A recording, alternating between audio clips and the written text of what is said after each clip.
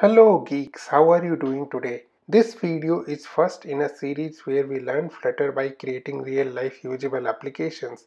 This is the first chapter where I will talk about basic introduction to the framework and how we can make use of it. So let's start. Flutter is a new entrant in mobile application development space. If you go to the website called flutter.io, you will get to a page which talks about how to set up development environment and any other dependencies.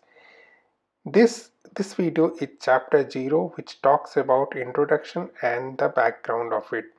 Before looking into the Flutter, let's talk something about the history. During late 90s, two browsers were prominent, Internet Explorer and Netscape Navigator. But we had to write different code because the codes were not compatible with each other. This was happened because of lack of standardization. And when the standardization did happen, we managed to write same code for different browser including Internet Explorer and Netscape navigators. Now, as of today, no matter whether our browser is Chrome, Internet Explorer, Mozilla Firefox or Opera, we write same amount of code. If not 100%, then it's 99.99%. Fast forward 15-20 years, that is as of today, there is a paradigm shift that has happened. All major websites are now having mobile apps for personalized experiences and there are two prominent players in this mobile domain. They are iOS and Android. To write a code in Android you need to learn either Java or Kotlin or for iOS Swift or Objective-C. Now we get to the same questions again. What if, we could write the same code for both the platform?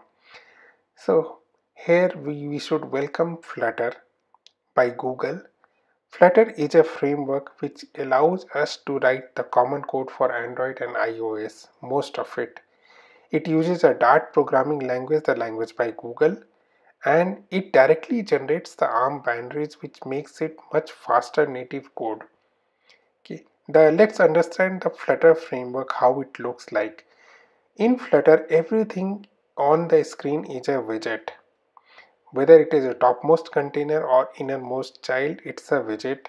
And widgets are generally categorized into stateful or stateless widget. If we just uh, look at the picture that is coming now is that a screen looks like consists of multiple widgets where widget 0 is a topmost container and 1 2 3 4 are child widgets now let's talk in brief about stateless and stateful widget Stateless widget can be considered as something which draws itself only once when the widget is instantiated, while stateful widget can be considered as something which redraws itself again and again based on some event or some user input. So that's the basic introduction on what Flutter is and how we can create apps using Flutter. In the upcoming videos of this series, uh, we will see how to write code for creating mobile applications using Flutter. So please do subscribe and tune in. Thanks for watching.